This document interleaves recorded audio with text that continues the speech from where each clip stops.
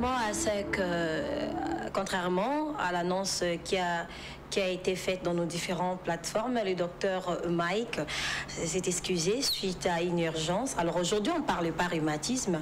Aujourd'hui, on parle autre chose que vous allez le découvrir tout à l'heure. Mesdames et messieurs, bienvenue à vous dans cette émission Chronique des BM. Vous avez l'habitude de suivre cette émission tous les samedis à 17h20 sur Numérica Télévision. Alors, comme d'habitude, aujourd'hui, nous allons parler d'un très bon sujet. Alors, Béni Moni, c'est moi. si vous voulez participer à cette émission, nous sommes en direct. Pas de nous écrire sur le numéro qui est justement affiché au bas de vos écrans. Merci à ceux-là qui nous écrivent de partout. Merci à ceux-là qui nous suivent. Merci à ceux-là qui nous aiment. Même à ceux-là qui ne nous aiment pas, mais qui continuent quand même à nous suivre. Merci à vous. Merci à toutes les femmes entrepreneurs parce que cette émission vous est dédiée. Merci à ceux-là qui nous soutiennent. Merci à nos différents partenaires qui essaient de nous soutenir, de nous prêter main forte afin que euh, cette, euh, cette émission aille l'avant. Alors aujourd'hui, nous allons parler de deux ans après euh, les appels d'offres. Où en sommes-nous? Et puis nous allons parler de cette grande conférence, euh, une conférence scientifique euh, intitulée Mwanda après pétrole. Alors pour en parler, nous avons reçu pour vous les coordonnateurs euh, de cette conférence Mwanda après pétrole. Lui, c'est l'ingénieur Pepito Sakasaka. C'est avec lui que nous allons parler à fond. C'est quoi l'idée D'où est venue l'idée C'est quoi les retombées de cette conférence Alors qui qui sont ceux-là qui vont participer à cette conférence Mwanda après pétrole. Ingénieur euh, Pepito Sakasaka, bienvenue et merci de répondre à notre invitation. Merci madame. Alors, euh, pour ceux qui ne savent pas, pour ceux-là qui nous suivent, euh, qui êtes-vous en peu de mots? En gros, ingénieur Pepito Sakasaka, c'était un Congolais, un Congolais, un ingénieur en pétrole, gaz et environnement responsable d'un magazine Focus Hydrocarbures consacré au secteur euh, énergétique et environnemental, mhm. responsable également d'un site internet qui aborde euh, de telles thématiques, activiste des droits de l'homme, hum, un visionneur, motivateur. Voilà. Voilà, un visionneur, un motivateur. C'est avec euh, vous que nous allons parler euh, euh, de cette conférence Moindra, Moindra après pétrole. Et puis nous allons parler aussi des appels d'offres des ans. Qui, où en sommes-nous avec cet appel d'offres Alors, pour pour en savoir un peu plus, c'est quoi l'état de lieu du secteur des hydrocarbures en République démocratique du Congo? Alors, ce secteur des hydrocarbures en RDC, c'est un secteur peut-être méconnu du grand public, mais cela existe depuis plusieurs années. À l'époque, ces portefeuilles euh, euh, s'est retrouvé au sein du ministère des Mines. C'était le ministère des Mines qui chapeautait tout, mhm. mines, hydrocarbures, pétrole et tout. Mais après quelques années, cela a été dissocié du ministère des Mines pour devenir ministère des hydrocarbures. Et là, j'ai salué le passage de tous les ministres, en commençant par son Excellence la mère Mendé mhm. et tous ceux qui sont passés à la tête de ces ministères. Et ces ministères ont eu un cadre légal, une loi euh, de 2015 et un règlement de 2016. Et jusqu'aujourd'hui, ce ministère est en train d'évoluer avec un, cabinet du ministre, un ministre à la tête, le secrétaire général, une société nationale qu'on appelle Sonaïdroc et euh, certains établissements d'enseignement supérieur qui forment les ingénieurs depuis plus de 20 ans. Et euh, nous avons également des entreprises, des entreprises qui exploitent à Mwanda. Nous allons parler de la conférence et parler de Mwanda. Il y a des entreprises qui travaillent également dans tout ce qui est vente de carburant, transport de carburant. Appelle ça de la logistique. C'est un peu ça, ces secteurs des hydrocarbures. Mais j'aimerais bien insister sur un aspect que euh, ces secteurs est dans une phase embryonnaire où il y a du potentiel qui n'est pas totalement exploité et, quasi, non inventorié, voire même voilà pourquoi nous ne cessons de communiquer, de communiquer pour attirer l'attention des autorités, également éveiller la conscience de la population parce qu'aujourd'hui nous devons exploiter nos richesses pétrolières pour essayer un peu d'améliorer, de soulager, pourquoi pas de rétrécer notre front longtemps courbé. Voilà, 28 juillet 2022, 28 juillet 2024, et deux ans après. Alors où en sommes-nous avec euh, cet appel euh, d'offres qui a été lancé avec pompe euh, par les gouvernements congolais? Permettez-moi, madame, je serai un peu bilingue pour faciliter la compréhension. Masolo appel d'offres qui lancé en 2022, les lots des ans déjà. Mm. C'était important de placer un mot là-dessus. C'était un projet du gouvernement. Projet Oyo, Bissonio, Sotosepe, là, qui a la secteur, ils ont la Naba Oyo, dans la secteur T, Tolanda qui a même dans les médias internationaux, mm. comme appel d'offres Oyo, ils ont qui n'a mm-hmm. J'y étais ces jours-là. Et le projet est en train de suivre son cours normal. Apparemment, ça n'a pas marché parce que l'objectif était que vous du secteur, vous puissiez trouver, euh, trouver de l'emploi, vous puissiez euh, vous retrouver et tout, puisque euh, les ingénieurs pétroliers parfois se plaignent quand ils finissent les études, pour, surtout dans ces secteurs des hydrocarbures, pour trouver du boulot, c'est vraiment pratiquement impossible, c'est difficile pour ne pas dire que c'est impossible. Trouver de l'emploi serait euh, parmi les retombées de ces grands projets. Mhm. Et le projet dans une phase, euh, une première phase, mhm. où c'était question de présenter des dossiers géologiques, toutes les informations que le gouvernement possède euh, en matière de nos différents bassins, mhm. et les investisseurs, les entreprises vont compétir. Les entreprises vont soumissionner et les meilleures entreprises seront retenues pour avoir accès à ces informations, pourquoi pas exploiter et venir s'installer afin de produire le pétrole. Donc c'est dans une phase vraiment, euh, une phase, une première phase administrative où euh, les choses devraient aller dans ce sens. Mais euh, nous constatons que le, projet évolue à pas de tortue mm. suite à plusieurs éléments.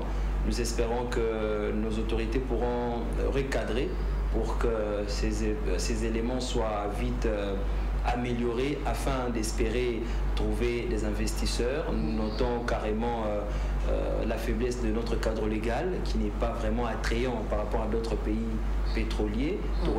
Congo pétrolier euh, nous avons du potentiel mais nous ne sommes pas encore un pays pétrolier et cadre légal il faut les la réviser pour epesa lisusu opportunité mm. na baentrepreneur na bainvestisseur oyo bakoki koya na bambongo ebele bayeba bongo kosoumissionner mais également il y avait certains blocs oyo baponaki mm. bloc wana ezalaki euh, il y a des gens qui disaient que ça, ça c'était des sujets à problème pour se retrouver dans la air protégée mm. donc ce sont des éléments parfois à améliorer et euh, améliorer les aspects liés aux infrastructures mm. pour l'entreprise on va travailler à Kinshasa alors qu'il y a l'intérieur RDC et c'est nécessaire d'améliorer les infrastructures disposer également la main d'œuvre jusque là ceux qui sont formés ne sont pas très bien encadrés c'est une main d'œuvre dormante que les autorités doivent capitaliser, encadrer, pour qu'enfin ceux qui viendront investir au Congo puissent travailler avec les Congolais. Nous ne voulons pas de, de visiteurs dans notre propre pays où nous voyons les gens venir travailler ici, mm. Donc voilà un peu, ce sont les aspects que nous sommes en train de présenter pour que cela soit vraiment euh, pris en compte afin de voir ces projets avancer confortablement. Mais on ne, on ne peut pas jusque-là confirmer que c'est encore un échec parce que la loi prévoit le mécanisme pour sauver ces projets et nous espérons que comme la première ministre Judith Souminois en a prévu dans, dans, son planning, hmm. et que l'actuel ministre va, va, va travailler là-dessus pour que les résultats soient, soient meilleurs. Un mois presque, l'actuel ministre Molindo Sakombi à la tête de ces grands portefeuilles de ces ministères des hydrocarbures ingénieur Pépito, les gens disent il n'a pas fait les hydrocarbures, il n'a pas fait les pétroles. Mais comment bâtir ici Est-ce qu'il va vraiment bien faire son travail? Parce qu'on euh, en a connu beaucoup dans ce secteur, et puis après, euh, les ingénieurs se plaignent, voilà, voilà, voilà. Est-ce que le bâtiment moyen de sa combi n'a pas fait les hydrocarbures, n'a pas fait le pétrole Les gens disent que, bon, voilà, il n'est pas du secteur, il n'est pas du domaine. Parfois, les uns se plaignent, les autres disent. Euh, alors, plusieurs langues s'élèvent. Vous, qu'en dites-vous? Bon, batebele balobango mm. mais nako rappeler principe moko aussi simple mm. les postes ministériels restent euh, politiques mm. en RDC les postes ministériels restent politiques certes il y a certains portefeuilles où ils ont la tendance moro technique euh, tels que les énergies, ressources hydrauliques, l'environnement, les hydrocarbures, mines, les tendance moko technique. On aimerait bien retrouver des professionnels, tout comme les ingénieurs à la tête de ces ministères. Mais comme cela ne dépend pas forcément d'un membre du jury, mais ça dépend de la discrétion du chef de l'État. Et comprenez, le chef de l'État est, libre dans sa politique de choisir quelqu'un qu'il estime euh, bon pour qu'il travaille. Le grand problème, ce n'est pas du tout ça. Le vrai problème, c'est le ministre ne travaille pas seul. Le ministre serait accompagné. Donc nous ne cessons de demander euh, à son Excellence, Monsieur le ministre des hydrocarbures, d'être accompagné par des experts, d'être accompagné par ceux qui ont des solutions aux problèmes de ces secteurs des hydrocarbures. C'est en cela qu'on peut euh, travailler pour que les choses avancent et de ne pas faire de la routine parce que nous avons du potentiel, ça ne sert à rien. Et du coup, euh, comme nous les disons, comme nous les savons, ce sont les énergies fossiles. Euh, ils pourront euh, s'épuiser et le Congo sera perdant. maintenant ou jamais, nous devons capitaliser ce qui nous reste au travers d'une politique bonne, au travers un plan de développement de ces secteurs qui n'existaient pas, au travers des infrastructures nécessaires, au travers une main-d'œuvre euh, qualifiés pour qu'enfin les choses se développent. Alors qu'est-ce que vous, les ingénieurs, les pétroliers, qu'est-ce que vous attendez euh, Et le là et pas un ministre euh, Molendo sa combine secteur et hydrocarbures. Non, qu'il n'est pas quatre chemins na kolobaka momoko réforme. Et un secteur et. Réforme. Pourquoi Parce que les défis sont énormes. Mm. Alors on a besoin de réformes défi est belé, le secteur des hydrocarbures est dans une phase embryonnaire, j'aime bien le dire, où il y a du potentiel, mais euh, ces potentiels-là n'est pas suffisamment valorisé. Alors il faudrait réformer pour l'adapter. Euh, dans ma condition à Mokili, à quoi adapter à la concurrence. Nous ne sommes pas un pays pétrolier, nous sommes entourés de pays qui qui, ont quand même une très bonne image dans le domaine du pétrole, tel que l'Angola, tel que le Congo-Brazzaville. Alors nous pouvons euh, suffisamment, nous devons travailler pour atteindre un niveau très appréciable. Alors il faudrait réformer notre cadre légal, il faudrait revoir beaucoup de choses. J'ai parlé tantôt des aspects liés aux, infrastructures et il y a plusieurs éléments. Aujourd'hui, nous parlons transition énergétique. Alors il faudrait réformer ces secteurs, l'adapter également euh, à tout ce, qui est, tout ce qui va dans le sens de la transition énergétique, développement durable. Vous pensez que le ministre Sakombi serait à la hauteur euh, de, de satisfaire les ingénieurs pétroliers? Bon, ce qui est vrai, tout changement est porteur d'espoir.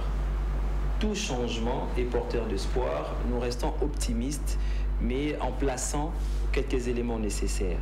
Et nous espérons que nous serons cette fois-ci écoutés parce que nous sommes des Congolais. Tout Congolais a le devoir euh, d'apporter un plus et nous, ce que nous avons, c'est la parole. C'est euh, une certaine manière de voir les choses et nous ne cessons d'écrire, nous ne cessons d'approcher les autorités pour espérer que les choses peuvent changer. Mais Son Excellence, Monsieur le Ministre, les hydrocarbures euh, n'a pas encore fait 100 jours, parce qu'en ce moment-là, nous allons évaluer, mais nous restons optimistes que les choses peuvent changer. Il a toutes les cartes entre ses mains, bien que les défis sont énormes. Il a trouvé un projet aussi juteux, tel que les appels d'offres et bien d'autres éléments. Et nous restons optimistes dans tous les cas que les choses peuvent changer. Ce n'est pas question d'hommes, mais c'est également question, euh, nous parlons, nous voyons plus les secteurs et nous espérons que les bases peuvent être balisées les bases peuvent être euh, plantées aujourd'hui pour que demain les résultats soient, soient meilleurs. Voilà. Je rappelle que nous sommes en train de parler de cette grande conférence scientifique Mwanda après pétrole. Là, je demanderai à la régie s'ils peuvent nous mettre cette affiche-là déjà. Alors, euh, l'ingénieur euh, un Saka Saka.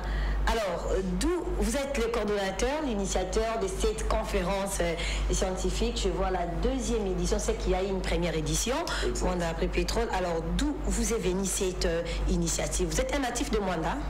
Je ne suis pas natif de Mwanda, mais euh, le fait d'aimer les pétroles, j'ai aimé également Mwanda.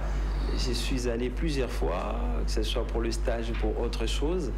Et euh, je suis congolais, je suis censé euh, répondre euh, aux problèmes. Et tout est parti d'un constat, parce que vous demandez d'où sont venues les motivations. Le fait de voir que Mwanda, c'est le seul coin de la RDC où se passent les activités pétrolières depuis plus de 30 ans. Malheureusement, Mwanda ressemble à n'a pas la taille d'une ville pétrolifère. Mwanda manque de tout. Il y a beaucoup de soucis. Alors il fallait euh, proposer euh, des idées. Et pour que les idées soient entendues, il faut des cadres appropriés. Et nous, nous avons pensé, comme nous sommes scientifiques, nous avons pensé réunir les têtes pensantes. Je vous rappelle que c'est à Mwanda où euh, est né le tout premier intellectuel congolais, c'est à Mwanda, Panda Farnana. Il était le tout premier intellectuel congolais. Donc à Mwanda, il y a de têtes bien faites, il y a de génies, des intelligents. Alors euh, nous avons pensé les associer pour réfléchir autour de l'avenir énergétique de, de Mwanda et les notions du développement durable. Parce que si le pétrole est exploité 30 ans durant, que Mwanda n'a pas bénéficié, et comment se présenterait l'avenir? Alors il faudrait baliser en réfléchissant en se donnant des idées, en proposant également euh, comment est-ce que les choses, que deviendrait Mwanda dans les 30 prochaines années? Qui est derrière l'ingénieur Pépito Sakasaka? Bozalaka bongo mona balaki mwa poste mo boye wana le yo wana obimi alozi bato nyonso mwando tie bongo na nsima na yo après totala boye lobilobi akóma na ye soki nani wana kuna na politique qui est derrière toi? Bon, je suis croyant. Il y a d'abord le Créateur qui est la source de mon inspiration et je suis chrétien. Également, il y a l'amour du Congo qui transcende, euh, qui, me motive à croire en tout ce que nous avons comme potentiel et capacité. Mais également, il y a les gens qui nous entourent, les ingénieurs qui nous entourent, les Congolais, les Mwandais qui nous entourent. Et c'est- c'est comme ça qu'on est euh, surexcité à amener un peu cette manière de voir les choses. Parce que notre jeunesse a une lourde responsabilité. Ce que nous subissons aujourd'hui, ce sont les erreurs, ce sont les forces de nos ancêtres. Et nous également, nous sommes la solution. Nous pouvons apporter la solution pour que les générations futures euh, en bénéficient également. alors euh, lisumu eza wapi soki congolais akanisi asangisa bandeko ne bacongolais bakanisa mpona oyo etali développement ya mboka Mabezate, comment s'est déroulée euh, la première édition? Ce n'était pas facile madame mais euh, Et surtout que vous êtes euh, encore très jeune en vous regardant, vous êtes jeune. Exact, Lumumba était jeune, il a réclamé l'indépendance. Jésus-Christ était jeune, il a impacté. C'est pendant la jeunesse qu'il faudrait très bien s'aimer. Je vous ai dit, je suis motivateur. J'ai dit à tous les jeunes qui me suivent, c'est pendant la jeunesse qu'il faudrait très bien planter et s'aimer. Donc nous sommes dans cette phase-là qu'il faudrait apporter des solutions aux problèmes. La jeunesse constitue l'espoir. Et euh, ce n'est pas seulement dans le futur, mais de maintenant qu'il faudrait commencer à planter. Et nous, nous sommes euh, engagés pour apporter des solutions. Alors, euh, nous y allons. La première édition, c'était essai-erreur.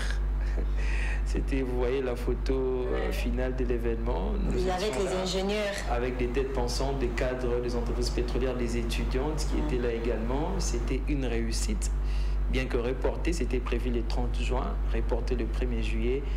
Et euh, le- les participants ont répondu, il y avait des intervenants de haute facture. Nous avons réfléchi un peu sur l'histoire du pétrole euh, du, du- Congo. Nous avons réfléchi autour de questions liées à l'électrification de Mwanda. Nous avons réfléchi sur la conservation. C'est à Mwanda où nous trouvons le parc de mangrove. C'est à Mwanda où il y a l'embouchure. C'est à Mwanda où il y a la plage. Madame, il faut voir l'embouchure. C'est pas ce qu'on nous a appris à l'école. Il faut arriver là-bas. Il faut voir le tout premier village euh, Ntianfoumon, le village tel que Mwanda Village. Et vous regardez un peu la vie et regardez un peu de- de- de- des aspects liés à l'histoire de notre pays. Et c'était vraiment une réussite. Bientôt, nous allons présenter un rapport de la première édition, un rapport où il y a des orientations des scientifiques. Et euh, nous nous préparons également pour cette deuxième édition. Mwanda a pris pétrole. Alors nous allons euh, respirer un peu, nous allons prendre euh, votre euh, intervention à la première édition de cette conférence Mwanda a pris pétrole et puis on, on va revenir tout juste après. Plaisir.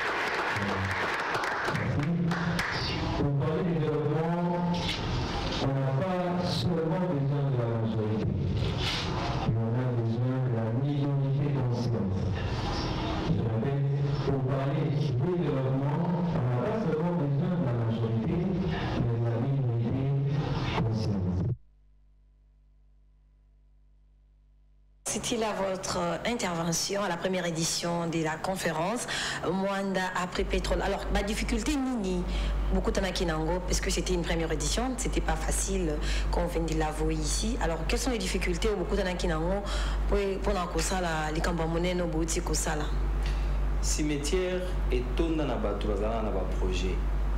Bazala na soki. Bazala na difficulté na échec. Mais moto oyoka bango aza lisusu te. So olingi oréalise makambo kotalaka difficulté te. Ekozala mpe école de formation ekozala mpe source d'inspiration. Alors tokolinga mpenza te toetali badifficulté oyo ezangaka te na baprojet ya boye. Mais le plus important tozolinga toloba oyo eza ya motuya parce que tellement la vision est grande nous espérons que les moyens vont toujours sourire vont toujours sourire. C'est dans ce sens-là nous restons optimistes et positifs que obstacle mon côté les face à difficulté mon côté nous y travaillons nous ne dormons pas pour préparer cet événement et nous espérons que la deuxième édition sera meilleure, meilleure que la première édition. Voilà. Alors, euh, pour cette deuxième édition, comment se présente la chose? Cette deuxième édition, euh, nous revenons sur le thème principal Mwanda après pétrole, mais nous allons plus réfléchir euh, sur des éléments nécessaires. Nous les savons, euh, les scientifiques l'attestent que la courbe des productions est en train de baisser. La courbe des productions pétrolières est en train de baisser. Donc il se pourrait que dans les 30 prochaines années, que Mwanda ne puisse plus avoir cette possibilité-là de, produire. Hum, certains champs, plusieurs puits sont devenus matures. Il y a des autres Il faut qu'on réfléchir pour tout à la surprise. Déjà, les entreprises pétrolières se préparent à l'après-pétrole. Alors nous, population, nous devons également être informés sur ce que c'est cette transition. Comment serait Mwanda? Qu'est-ce qui va arriver si le pétrole s'épuisait Je vous signale, madame, à Mwanda, dans certains villages, il y a, y a même des puits de pétrole derrière les maisons. Il y a des puits de pétrole derrière les maisons. Et il faut, préparer cette population à, s'attendre à ce que euh, cette manne puisse s'épuiser un jour. Et donc, euh, alors nous, nous nous inscrivons dans cette logique d'anticipation pour que cela ne soit pas une surprise. Nous allons également réfléchir en attendant cette manne pétrolière, en attendant beaucoup de choses qui pourront arriver comment la vie va se passer. Alors, pour cette deuxième édition, nous allons plus insister sur la pêche et le tourisme. Nous le savons tous qu'à Mwanda, il y a l'océan Atlantique. Alors, il y a cette activité de la pêche, c'est pratiqué bien avant, nos ancêtres pratiquaient ça. Et pourquoi pas, nous pouvons euh, appeler les investisseurs à regarder Mwanda avec un œil d'opportunité d'affaires. Pourquoi? Parce qu'il y a de l'océan, on peut faire de la pêche industrielle. Il y a également le tourisme qu'on peut exploiter. J'ai parlé tantôt de la plage, j'ai parlé tantôt du parc de mangrove, j'ai parlé de l'embouchure, j'ai parlé d'autres villages où on peut retrouver Nzungu, bah, esclave, banda là. On peut trouver ça à Mwanda. Bah, banda Bango, nos ancêtres qui étaient exportés euh, pour l'esclavagisme, bah, donc ce sont le tout premier parlement qui a été euh, installé en 1885, si je m'abuse, 1885, peut-être je peux oublier la date, se retrouve dans le village Ntianfou. Donc, Oyo, on peut compter, hormis les ressources pétrolières, nous pouvons développer également la pêche et les tourismes. Car on a moins d'un Rolia, Mbisi a bien, Thomson T, Mbisi a bien. Donc euh, voilà pourquoi cette deuxième édition est aux anamoi image moko, il y a qu'au vanter, il y a qu'au présenter euh, la pêche, les tourismes, et puis également nous allons réfléchir sur euh, d'autres aspects. Voilà. on va prendre une question, il y a des gens qui écrivent, hein? on va prendre une question, na makambo nyonso atangi wana na mwanda biloko nyonso alobi wana na mwanda me mwanda ti lelo courant ezalaka te mwanda ti lelo pasi koleka mpona nini kasi? Bon, c'est une question, c'est une question biso. Biso mais n'a pas potentiel, tout ça n'a biloko, eza pe réalité mboka na biso ti. Eza ka mwanda te, mwanda peut-être sonné parce qu'il y a du pétrole.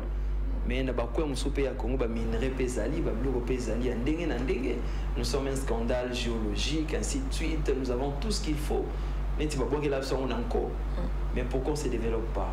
Pourquoi on se développe pas? Aujourd'hui le développement ce n'est pas question de ressources c'est question de l'homme. C'est pas question de ressources. Pour parler de développement, c'est l'homme qui est au centre. Alors c'est cet homme-là qui doit être informé. C'est cet homme-là qui doit aimer son pays. C'est cet homme-là qui doit s'engager pour transformer. Matière on a Matière L'homme doit s'engager, l'homme doit travailler. Et les secteurs des hydrocarbures, l'exploitation pétrolière, Tilelo, et Zala, Kaka géré dans le texte il y a 1969. Donc la récente loi n'est pas encore mise en application.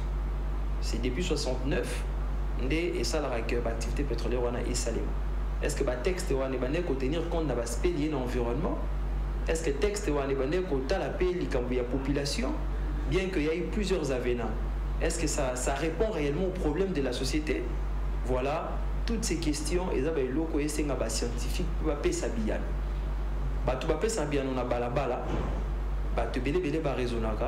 mais à un certain moment, nous devons intéresser ou interroger les scientifiques parce que et ils ont leur manière de réfléchir, ils ont leur manière d'estimer les choses. C'est pourquoi nous avons initié ces cadres pour réfléchir avec les scientifiques que serait moins de demain. Sans pétrole. sans pétrole, certainement. Mais c'est mm. une réalité qui mm-hmm. pourrait euh, venir. Mm. Alors nous, nous préférons nous préparer pour que cela ne nous surprenne pas. Donc, euh, de quoi une question, on a invité à quoi assister? À mon endroit, les gens vont réfléchir parce que euh, le fait de réfléchir, c'est déjà une opportunité de, de mieux se préparer. Scientifique n'est pas bon Scientifique à Bomamboka, je ne sais pas confirmer parce que les affirmations moro brutales, oyo mutunyo soit ko bango, scientifique pas bongi samboka po esika tofandi lumière oyo tozomona eza scientifique elamba tolati obimi kitoko boye ezali mayele scientifique mutuka. Carburant mpo ekóma ntina kati mutuka eza scientifique. Certes bao bazoloba scientifique eboma mboka ce qui se passe dans le pays les détournements et autres. Mais je me dis que ce n'est pas seulement ça qui représente la science. Il y a également, il y a toujours euh, des particularités, ceux qui travaillent et ceux qui apportent des solutions. Bah, inventeurs basés Belé na Congo, bazali il y a sérieux pe baza donc euh, ne mélangeons pas tout il y a des scientifiques sérieux respectueux qui réfléchissent et qui sont prêts à porter le fardeau de, du développement. Alors qui sont concernés? C'est toute la population? Il n'y a que les Mwandais qui sont concernés euh, pour participer à cette conférence ou qui sont concernés? Pour votre information, madame, je ne suis pas Mwandais. Je, je vous l'ai dit tantôt, je ne suis mmh. pas. Mmh je suis congolais, tous les Congolais sont concernés, le scientifique, ceux qui évoluent dans les secteurs des hydrocarbures. Et les étudiants, même ceux qui évoluent dans les secteurs de l'économie, de, le droit, l'environnement, mmh. euh, les infirmiers, tout le monde est intéressé parce que nous parlerons pollution, nous parlerons toutes les questions euh, autour de, des énergies, nous parlerons l'eau, nous parlerons de l'électricité. C'est vraiment une opportunité, c'est vraiment une conférence transversale et très complexe. Tout le monde est invité. Les Quinois, les années Bélé à 4 ans, à Komarata Kassangouloute, c'est une opportunité pour nous également de visiter Mwanda, de voir l'océan et tout ce qu'il y a. Et tout le monde est invité. C'est quoi alors euh, Quelles sont les modalités pour y participer? Ils ont fait les. Euh... Ils ont fait les hein, au Félé, euh, sur le bon, moi j'irai, hein, j'irai et tout. Euh, il y a des conditions qu'il faudrait euh, remplir pour participer. parfois la gratuité, mhm. parfois la gratuité rime avec la pauvreté. Parfois la gratuité rime avec la pauvreté, parfois. Alors comme c'est une conférence, les gens doivent se déplacer, ils pourront juste vous contacter pour en savoir plus, mais certainement il y a un PAF qu'il faut, il faut payer le billet aller-retour, il faut euh, euh, être logé pendant trois jours dans des très bonnes conditions. Il faut visiter la plage, visiter euh, Ntianfumo, visiter la société. Et les mangroves. Euh, Saucir. Non, on ne va pas visiter mangroves, malheureusement. Il faut aller et puis il faut revenir. Il, faut, il faut bien dormir, il faut bien manger. Mais la conférence en soi est gratuite. Mais ce sont les modalités liées au déplacement, déplacement les logements. Et ce sont des prix très abordables. Les Congolais vont. Ceux qui vont vous appeler, ils vont, ils vont vraiment se retrouver. Alors, c'est quoi la particularité de cette conférence? Parce qu'il y en a une première, ça c'est une deuxième. Cette fois-ci, je l'ai dit que nous allons plus marteler sur la pêche et, et le tourisme. C'est comme ça que nous invitons les gens à partir avec nous pour découvrir également euh, euh, Mwanda et tout ce que Mwanda regorge. Mhm. Parce que nous ne cesserons de le dire, Mwanda mérite mieux. Mwanda mérite mieux. Mwanda ngo, à la raté, Mwanda ngo, pasi, bata Mwanda ngo, bazolela lela. Alors, première conférence, c'est Salimaki. Cette deuxième conférence apportera quoi dans les concrets? Tu vois, les, vous voyez les scientifiques, hein, ils viennent, ils parlent, ils parlent, et puis vous rentrez. Le lendemain, là, quand on dort, on se réveille, on est toujours dans la même situation, rien n'y change. Alors, cette conférence apportera quoi dans les concrets? On veut vraiment du concret, au moins là. Dans le concret, nous, d'abord le fait de réunir les têtes pensantes, euh, certainement la lumière va jaillir. La lumière va jaillir euh, sur le plan, euh, sur le plan initiative. Au-delà de réflexion, il y a plusieurs personnes maintenant qui pensent aller à Mwanda, soit pour investir, soit pour carburer ça, donc voilà un peu tout ça. Mais nous avons deux idées. Nous avons plusieurs projets que nous, nous, espérons euh, euh, faire entendre. C'est comme ça que le concret viendra. Mais madame, écoutez, le problème, ce n'est pas euh, de, de, réfléchir comme tout le monde, dans le sens que conférence et salami, lots, lobby tout le monde Non, non. Et les scientifiques, quand ils se réunissent, ils produisent des orientations, des idées. J'ai dit tantôt, un rapport sera publié et transmis auprès des autorités. Mais nous voulons également donner une autre image, que Mwanda représente euh, un coin attrayant, un coin euh, d'activité que nous pouvons aller également investir. Nous investir des AT. Les scientifiques peuvent produire des études, peuvent euh, orienter, pourquoi pas, pour que la vie à Mwanda s'améliore. Donc nous ne dormons pas, nous ne voulons pas tomber dans, dans des phrases telles que mais nous voulons euh, dire que Bissonde, tous acteurs, il y a développement, tous là, nous pouvons également proposer ou apporter notre part pour que le Congo se développe. Voilà, on prend ce message, il y a les docteurs. Euh, Mertens qui nous écrit Bonjour euh, Madame BM, je suis vraiment accro à tes émissions par tes thématiques. Alors, euh, Mwanda après pétrole, c'est quoi l'impact du, du pétrole en RDC ou dans le monde? C'est difficile de parler de l'impact du pétrole en RDC parce que bien que le pétrole, les retombées pétrolières interviennent dans la constitution de notre budget, mais à faible pourcentage par rapport aux mines. Notre économie est plus liée aux mines. Les hydrocarbures interviennent, mais à faible pourcentage. Euh, peut-être c'est sur le plan mondial où nous disons que le pétrole, c'est vraiment les poumons de l'économie du monde. Si les États-Unis aujourd'hui est la grande puissance, c'est parce que les États-Unis euh, détiennent de réserves euh, énormes en, pétrole. Et si vous apprenez tout ce, qui se passe en Russie, il y a également des aspects liés au secteur de l'énergie. Poutine détient de réserves énormes en gaz. Dans toutes les grandes guerres du monde, si vous suivez de près, vous trouverez des enjeux liés au secteur de l'énergie. La technologie également est pimentée par le, le, pétrole et ses dérivés, parce que quand nous parlons du pétrole, nous voyons également ses dérivés, le plastique, le mèche, madame, ce que vous avez sur vos, sur vos têtes, sont issus de, de, du, du, pétrole. Le plastique que nous avons, même dans la pharmacie, dans la médecine, il y a des éléments du pétrole qui interviennent. Donc aujourd'hui, même dans l'aviation, les carburants qu'on utilise, les jets, proviennent du pétrole. Le pétrole, on ne peut pas s'en passer mais euh, suite à des raisons, à des questions liées à l'environnement, la pollution, le monde est en train de se préparer comment réduire la, production, ce qui ne sera pas facile parce que c'est un débat aussi intéressant. Le pétrole a encore sa place et le, la RDC euh, euh, est obligée de valoriser ces secteurs pour également diversifier son économie. Voilà, on prend une dernière question, faute, faute des temps. Euh, bonjour Madame BM, je suis étudiant à l'IPG. Euh, permettez-moi de poser une question en lingala. Mpona nini biso bato osilisaka na pétrole tozwaka misala na mpasi tunela biso yango epai ya ingénieur. Mpona nini balingaka koengage biso te ata stage ya pamba. Ekomela biso nde problème il faut recommandation. Moko boye toyebana ngai nayebani na ngai na moto te bon eza situation moko ya mpasi biso nyonso tozalaki baétudiant tokutana mpe na baréalité ebele. Mais eza kaka na domaine ya pétrole te dans plusieurs domaines badifficulté mpe ya stage ya employabilité mpe ezali. Mais dans tout ça nalingaka nayebisa bajeune que tant aussi esaka classe tozalaka na deux options. Soit kozwa mosala soit okoki mpe kocréer mosala. Okay.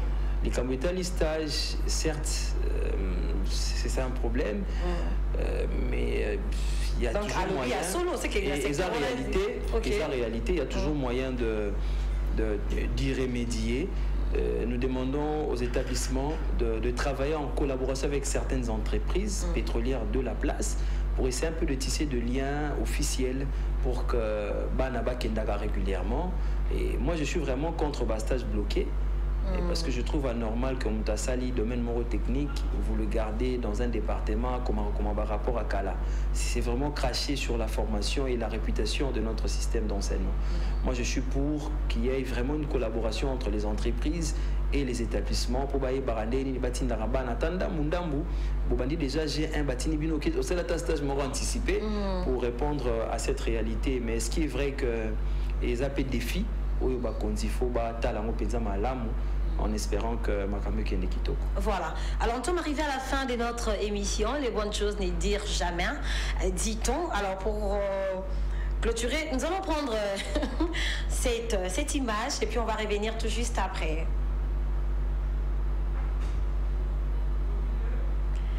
Alors, euh, j'étais en train de dire, nous sommes arrivés à la fin de cette émission, mais merci à ceux-là qui nous cessent de nous écrire, parce que des gens qui nous écrivent, faute de temps, pas moyen de, lire vos messages, mais je pense à la fin, l'ingénieur Pépito pourra peut-être euh, donner son contact, comme ça les gens vont, vous écrire, vont vous contacter euh, pour des questions. Soit carrément, on va vous inviter, hein, c'est pour une première, mais pas pour une dernière, on va vous inviter pour justement parler de questions euh, liées euh, euh, aux, aux hydrocarbures.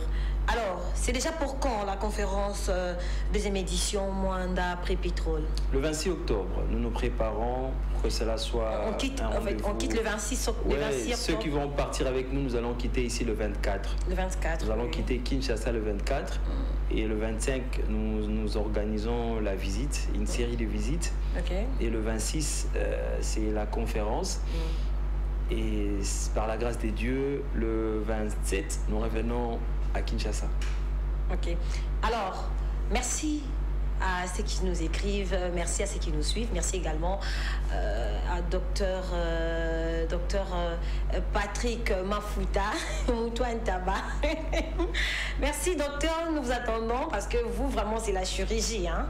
Nous attendons au plateau des chroniques des BM, vous allez vraiment venir nous expliquer la chirurgie. Merci également à docteur Joël Moni, merci à docteur Mertens, elle, elle qui nous a écrit, merci également à tous ceux-là qui nous suivent. Merci également à mon père qui me suit depuis Coloésie. Il est à Lubumbashi en mission de service. Merci à vous, euh, l'apôtre Cyril Zimoni. Merci également à la à la maman de plusieurs, elle c'est Caroline Zimoni. Merci à la grande communauté Puy de Jacob. J'en profite directement pour souhaiter un heureux anniversaire à notre papa Olua Omalanga qui, a, qui fête euh, ses années. Bon anniversaire à vous et que Dieu vous bénisse.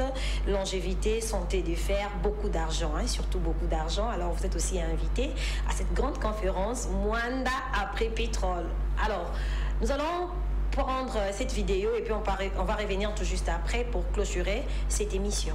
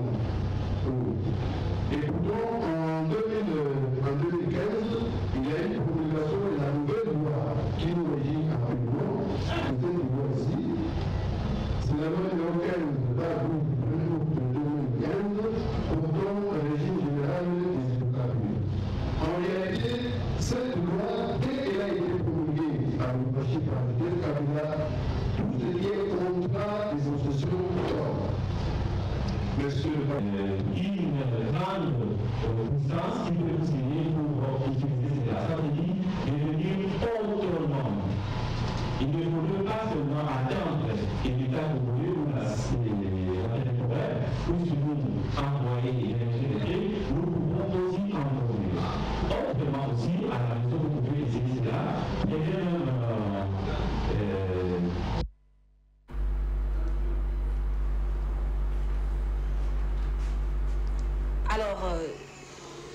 ingénieur Pépito, nous sommes arrivés à la fin de notre émission.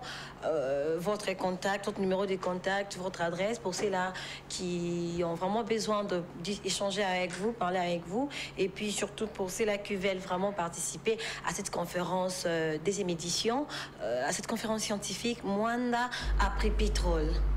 Visitez Mwanda avec nous. D'abord, merci à vous, Madame euh, Benimouni, et à toute la grande équipe de la chaîne Intelligente Numérica.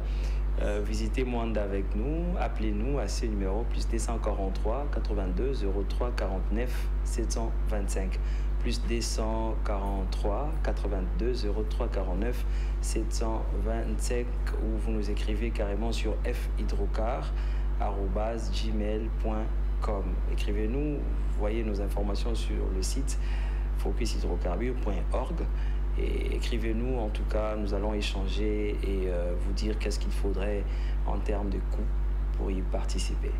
Voilà, c'en est fini. Si vous voulez participer à cette grande conférence qui concerne pas que le Mwandais, mais ça concerne tout le monde parce qu'on est congolais, n'hésitez pas surtout de nous écrire aussi, de nous appeler, d'acheter votre, votre billet. Comme ça, on ira avec vous. Béni Moni et l'ensemble de l'équipe chronique des BM annonce déjà la présence. Nous, nous serons là, présents, présentes à l'activité, puisque ce serait pour nous une première fois aussi d'aller visiter Mwanda, les parcs des mangroves et tout. Alors, euh, merci à la grande équipe technique qui m'a accompagnée pour la réalisation de cette belle émission aujourd'hui. Merci à Papa Freddy, merci à, à Papa Eric, merci également à la grande équipe rédactionnelle de Chronique des BM. Euh, D'ici là, portez-vous bien. Au revoir.